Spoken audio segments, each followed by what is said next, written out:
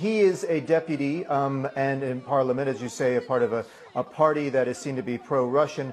But the, in particular, the emotions are running high because parliament was set to vote on a vetting law, an anti-corruption, uh, it's called lustration law, which uh, people hope will be able to uh, cleanse the government of corrupt politicians, of holdovers from uh, President uh, Viktor Yanukovych's administration and other politicians. And uh, this crowd uh, felt that Mr. Zhuravsky was one of the people that they need to cleanse. In fact, they put these, these bins outside of the parliament for this particular reason, or symbolically saying that they needed to throw politicians into the trash.